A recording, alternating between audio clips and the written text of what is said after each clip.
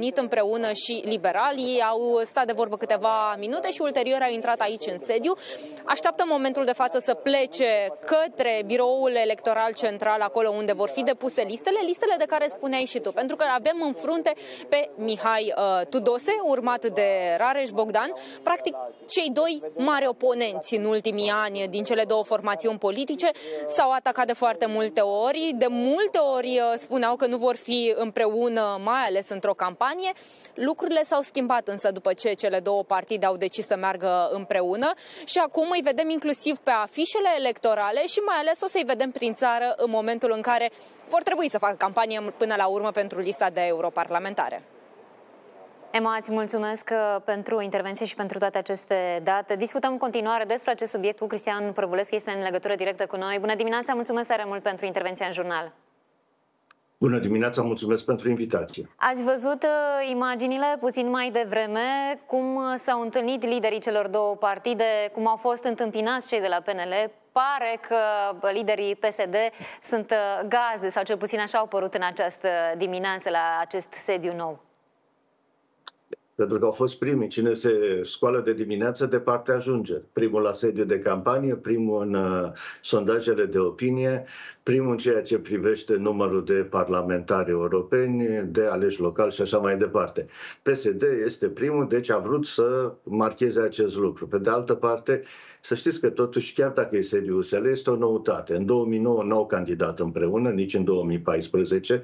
Candidaturile împreună au fost doar în 2012 și asta pentru că USL a apăruse puțin mai târziu.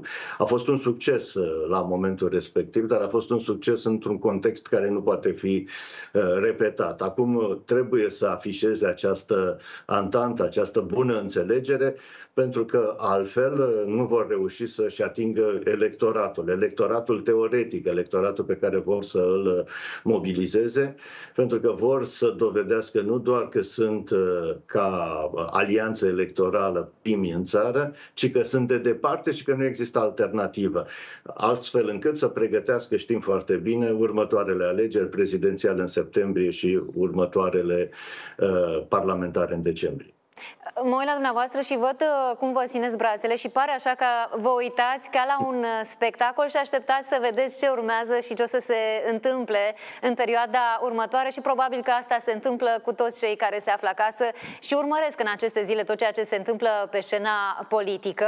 Dacă ne uităm în trecut, în 2012, da, a apărut USL, uh, s-au despărțit chiar înainte de alegeri pentru că nu s-au înțeles în privința candidatului. De această dată, iată că acest noul USL se reunește chiar înainte de alegeri, am putea vedea o înțelegere până la urmă și să fie un singur candidat sau s-ar putea ca acest nou USL să se despartă din nou după alegerile locale? Nu cred că se va despărți, pentru că nu cred că vor exista motive de despărțire după alegerile locale. Totul arată că va fi uh, Uh, vor fi pe primul loc. Va depinde foarte mult de cât de mulți vor intra în Parlament, cât de mare va fi uh, succesul, uh, dar vor face calcule după 9 iunie. Pe 10 iunie vom putea face anticipări mai clare. În momentul de față e greu de, de prevăzut ce se va întâmpla, foarte greu de prevăzut, pentru că va depinde inclusiv de alegerile din București.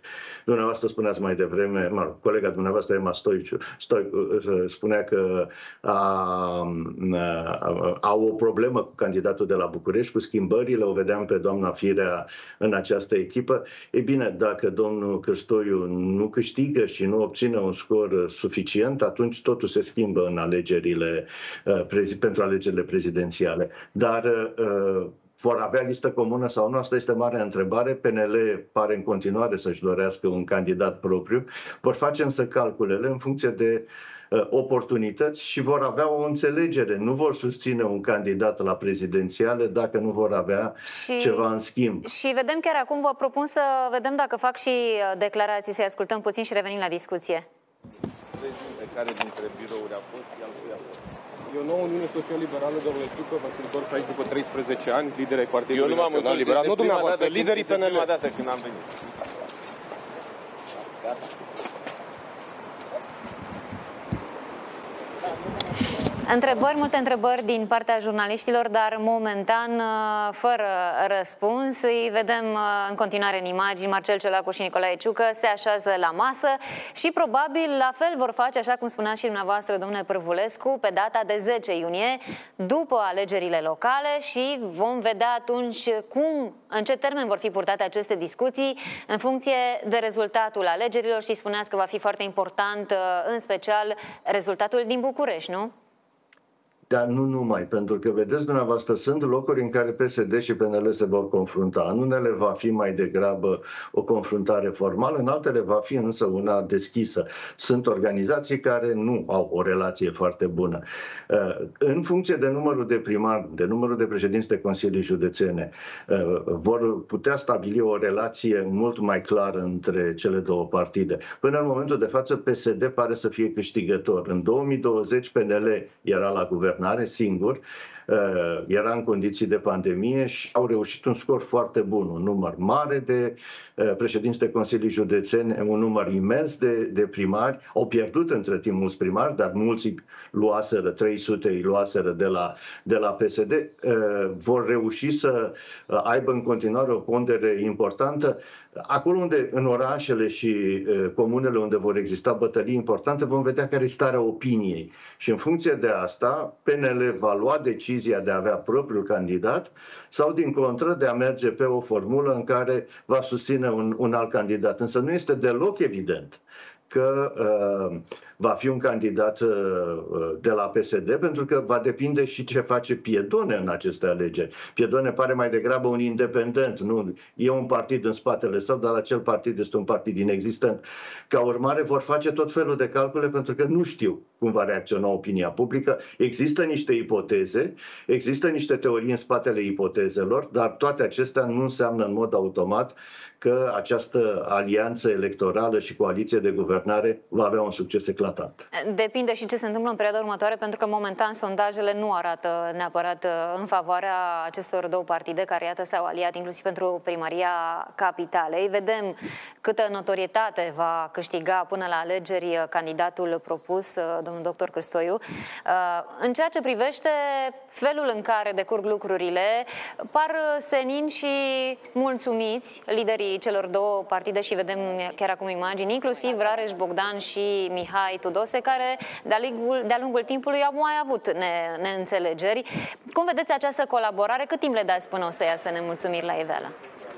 A, nu, nemulțumirile vor ieși destul de repede, pentru că și Rareș Bogdan și Mihai Tudose uh, sunt vârful de lance al celor două partide, dincolo de fotografia de grup uh, pe care o vedem acum, filmarea de grup care trebuie să ne demonstreze că sunt extraordinar de uniți, mai ales că se duc nu să înregistreze candidații celor două partide. Dincolo de acest lucru, uh, relațiile dintre cele două partide vor rămâne în continuare în nota obișnuită, pentru că nici domnul Ciolacu, nici domnul Ciucă nu au nici suficientă autoritate, nici interes să intervină. Apropo, împotriva unor persoane care sunt posibil succesori. Și domnul Tudose și domnul Bogdan sunt posibil succesori la președinția partidului. Ăsta e și motivul pentru care se profilează. Trebuie să înțelegem că această profilare se face în raport cu baza partidului pe care trebuie să o controleze în ipoteza în care fi nevoie de o schimbare la nivelul președinției președintelui de partid, în funcție de rezultatul alegerilor, în funcție de uh, ceea ce se va întâmpla la alegerile din decembrie. Nu mă aștept ca ceva grav să se întâmplă până atunci. Și să știți, dacă da, în București sondajele nu arată extraordinar, totuși PSD-PNL vor avea probabil majoritatea în uh, Consiliul General și în consiliile de sector și, și vor avea controlul asupra activității primarilor, indiferent care vor fi aceștia. Pleacă chiar acum uh, microbuzele care îi transportă pe liderii PSD-PNL la BEC, acolo unde vor depune listele pentru europarlamentare și îi vom uh, urmări vom uh, fi, colegii noștri sunt și la sediul BEC sperăm să facă și declarații și probabil vor face declarații, dacă nu au făcut acum, probabil după ce vor depune aceste liste și vor veni și cu mai multe lămuriri. Pleacă, iată, de la vechiul sediu USL și noul sediu în același timp USL. Cum ați văzut-o pe Gabriela Firea în această dimineață? Părea, nu mai era așa, la fel de supărată ca în ultimele dăți în care am văzut-o, părea puțin mai relaxată și mai zâmbitoare față de zilele trecute. Da, deși sunt absolut convins că doamnei Fire această poziție în Parlamentul European nu îi se pare o compensație suficientă față de poziția pe care ar fi putut-o recâștiga, cea de primar general al Bucureștiului, dar are mai puțină importanță. Cred că s-a obișnuit cu ideea pe de o parte, nu, nu mi s-a părut uh, uh extraordinar de fericită. Era uh, mai degrabă împăcată, dacă vreți, cu situația. În fond, uh, doamna Firea, în momentul în care a acceptat uh, această poziție uh, pe liste, uh, poziția a treia, totuși, uh, pe listele comune pentru Parlamentul European, a acceptat să rămână în joc joc. Uh, chiar dacă va pleca la Bruxelles, va rămâne în joc. Domnul Tudose a fost plecat la Bruxelles, e adevărat, a fost ales pe listele Pro-România, să nu uităm niciodată, nu pe listele PSD, dar a revenit uh, în PSD imediat uh, în 2020 și de atunci joacă un rol important. Asta ar putea încerca și doamna Firea. Vom vedea dacă va reuși, pentru că important este pentru doamna Firea să controleze în continuare organizația de uh, București. Vom vedea dacă va reuși uh, și, uh, evident, după ce se va, va trece anul electoral, să-și facă din nou o poziția simțită în interiorul partidului. Nu știu dacă este momentul de față o candidată pentru președinția partidului, dar vrea să rămână în continuare în cărți și are susținere și în organizațiile eh, județene. Nu în toate, domnul Ciolacu este totuși eh, un foarte bun eh, tactician și reușește să aibă o bună înțelegere cu organizațiile teritoriale. Pentru că trebuie să spunem, cele două partide nu mai sunt partide centralizate, într-adevăr. Președinții celor două partide trebuie să facă uh, scamatorii și echilibristică pentru a împăca diferitele interese ale grupurilor locale. Pentru că astea sunt partidele acum. Asta e motivul pentru care există migrație de la unul la altul. Nu sunt partide ideologice, sunt confederații de aleși locali care vor să aibă acces la resurse și uh, primarii care au trecut de la PNL la PSD au pariat mai degrabă pe PSD, pe faptul că PSD va câștiga toate alegerile de anul acesta și că le va asigura un acces mai bun la uh, resurse. Doamna Firea trebuie să țină cont de această situație și să se adapteze. Mulțumim tare mult pentru intervenția în jurnal și pentru această analiză. Urmărim uh, cu interes ceea ce se întâmplă astăzi și așteptăm să vedem dacă vor face declarații liderii celor două partide la biroul electoral central după ce vor depune listele pentru europarlamentare. Mulțumesc și eu. După 25 de ani petrecuți în spatele gratilor, cel mai detemut criminal în serie din nordul țării va fi eliberat. Grigore Bota a fost condamnat la închisoare pe viață după ce a ucis 11 oameni ai străzii. Ulterior, judecătorii au acceptat schimbarea pedepsei la 25 de ani de închisoare. Bogdan Băcilă vine cu mai multe informații despre acest subiect. Bogdan, ce ai aflat? Grigore Bota a fost condamnat în anul 2000 pentru uciderea cu brutalitate a mai multor bărbați persoane fără adăpost între lunile aprilie și august ale acelui an. Acuzat pentru uciderea a 11 persoane, el a recunoscut doar trei dintre crime, însă anchetatorii au adus dovezi concludente în alte șapte cazuri, iar judecătorii au decis să-l condamne la închisoare pe viață pentru aceste orori. Decizia a fost însă modificată la 25 de ani de închisoare, ceea ce face ca momentul eliberării lui Bota să se apropie, fapt care stârnește anumită îngrijorare în comunitatea din Maramureș. Grigore Bota a fost supranumit brancardierul morții sau ucigașul de boschetaș și este cel mai detemut ucigaș în serie din istoria post-decembristă a României. El ascundea trupurile neînsuflețite în apropierea gării CFR din Baia Mare sau pe malurile râului Săsar își ademenea victimele cu promisiunea unei sticle de alcool în schimbul unor favoruri sexuale. Unul dintre bărbați a reușit să scape și a alertat autoritățile, ceea ce a permis prinderea sa. Bogdan, îți mulțumesc! Mai bine de două ore a fost blocat traficul în roșiorii de Vede, acolo unde a avut loc un grav accident de circulație. Patru oameni sunt răniți și au fost duși la spital. A fost un accident în lanț. Sunt scurgeri de combustibil pe șosea, așa că traficul a fost oprit pe ambele sensuri. Mai multe informații primim de la jurnalistul Digi24, Elena Alexandru. Elena, ce ai aflat între timp?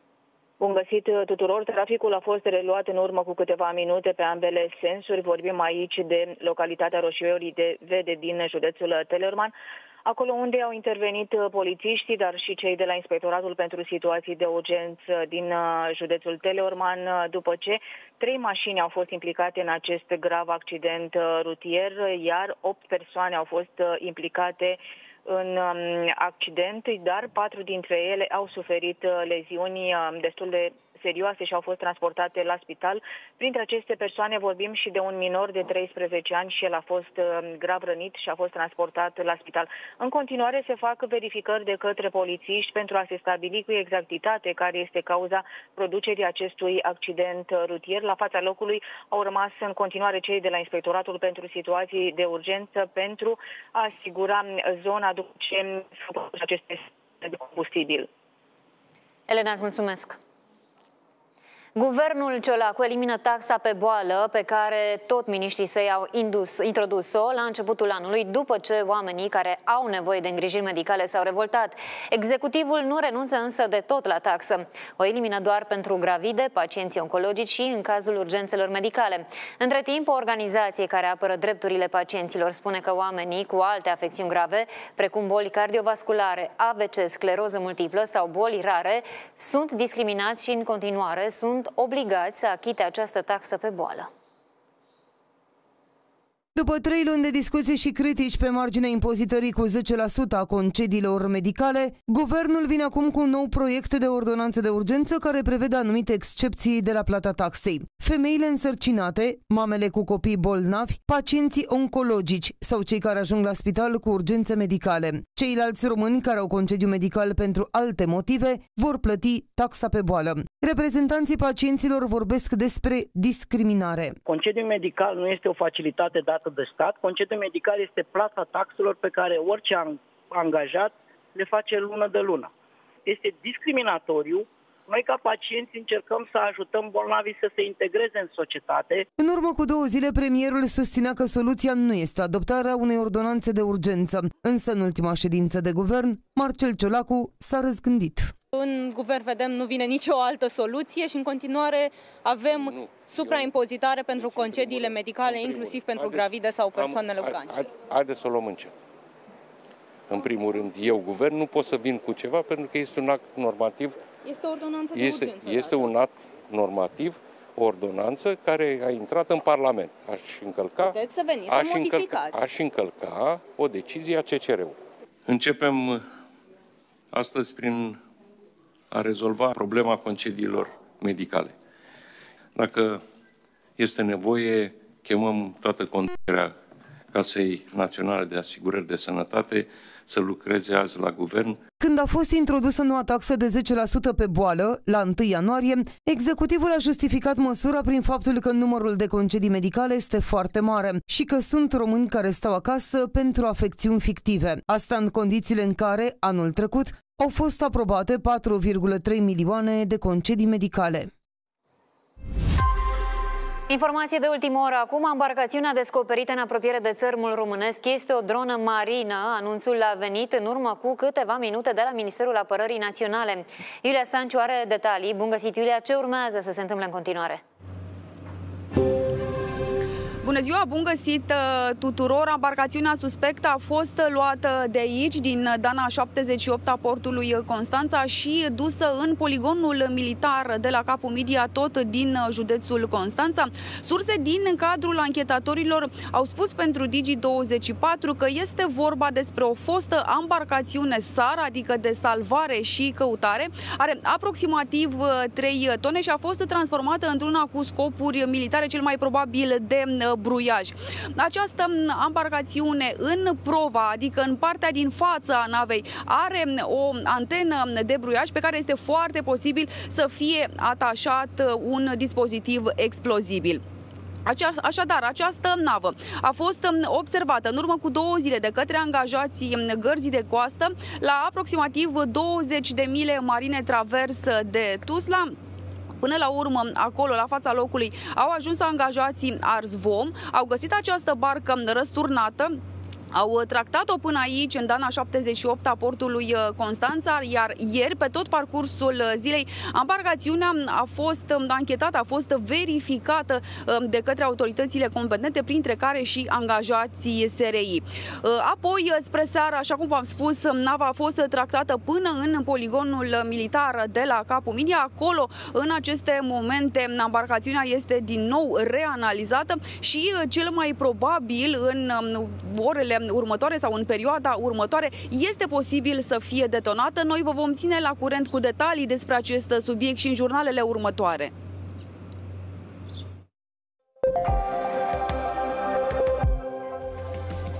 Avem informațiile momentului de la meteorologi. S-a emis prima prognoză pentru Paște și 1 mai, dacă vom avea parte de vreme caldă, ne spune chiar acum Mihaela Cosmolici.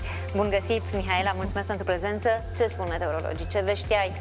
Bine te-am uh, regăsit, bine v-am regăsit dacă încă nu v-ați făcut planuri uh, pentru aceste sărbători. Faceți, da. Acum se dă startul oficial la rezervări pentru că avem și primele date în ceea ce privește vremea pentru uh, Paște și 1 mai. Aceste două evenimente vor uh, pica foarte aproape, motiv pentru care vremea nu va avea timp să se schimbe extraordinar Îmi de scuze mult. că te întrerup, uh, pentru că vedem imagini direct acum de la Romexpo, la sediul BEC, acolo unde au ajuns uh, liderii alianței, pentru că astăzi depun listele pentru europarlamentare. Marcel Ciolacu, Nicolae Ciucă, Rareș Bogdan, Mihai Tudose, Gabriela Firea, Paul Stănescu, cu toții au ajuns la sediul BEC pentru a depune uh, listele pentru europarlamentare și câțiva membri de partid care îi așteaptă acolo cu aplauze. Încercăm să vedem dacă vor face și declarații acum, pentru că în această dimineață au fost destul de rezervați liderii uh, celor două partide. Probabil vor face uh, declarațiile la final, după ce vor depune aceste liste pentru europarlamentare.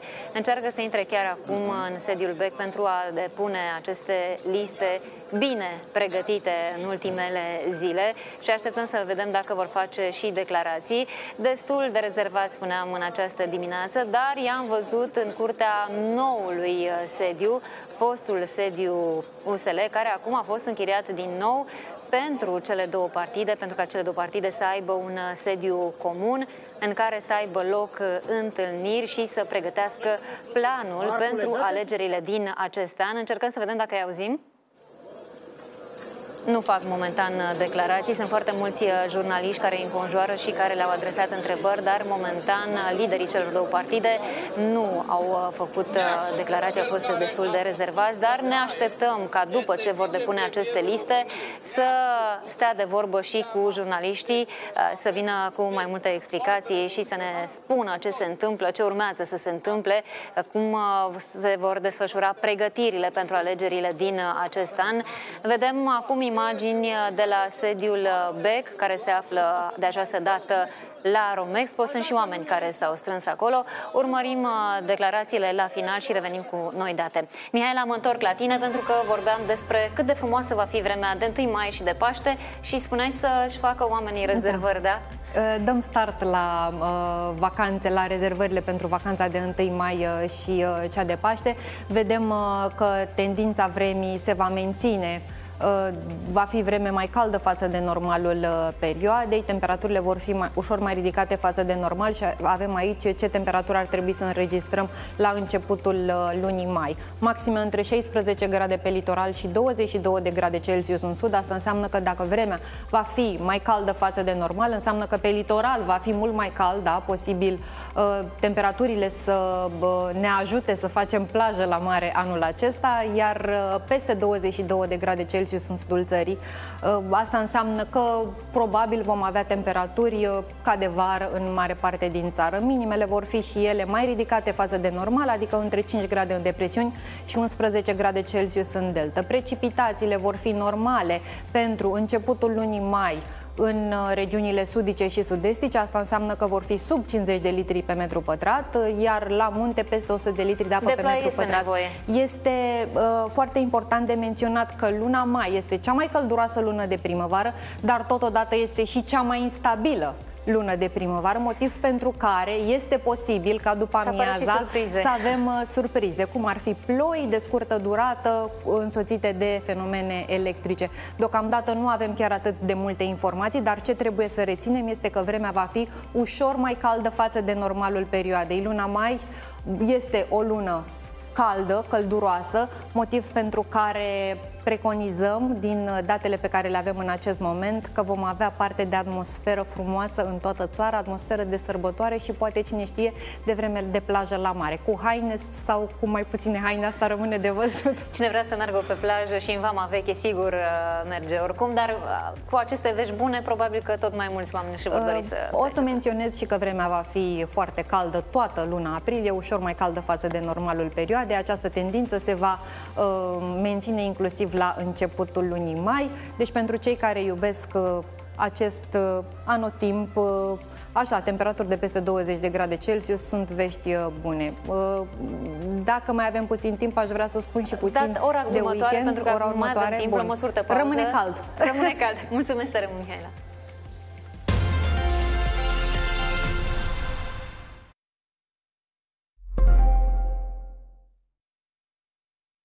Când te simți extenuat, hai la Dona imediat. Vino, te vom asculta, sfaturi bune îți vom da. Ca să ai vitalitate, energie, sănătate. Ai mag lichid la doar 32 de lei. Acesta e un supliment alimentar, citiți cu atenție prospectul. Dona e o farmacie, așa cum îți place ție